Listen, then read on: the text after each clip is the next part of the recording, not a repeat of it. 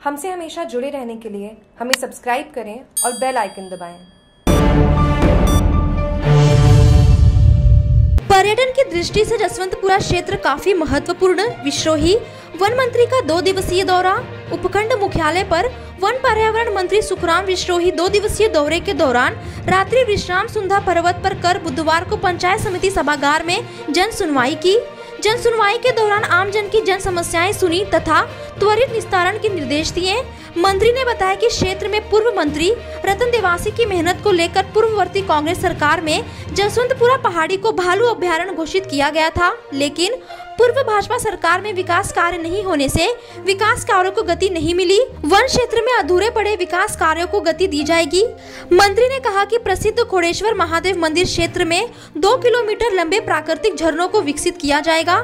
जसवंतपुरा पहाड़ी पर स्थित जोधपुर रियासत के बने महलों को पर्यटन की दृष्टि से विकसित करने हेतु ग्रेवल सड़क का निर्माण कार्य करवाया जाएगा।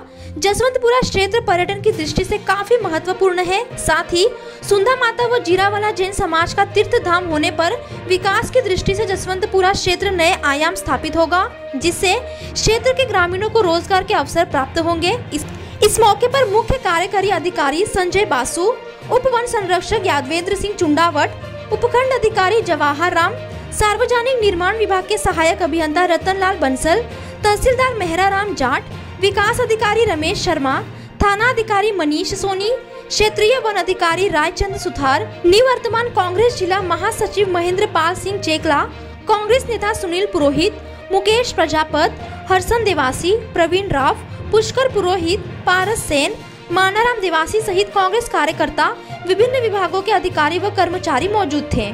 जागरूक टीवी के जसवंतपुरा से महेंद्र प्रजापत की रिपोर्ट।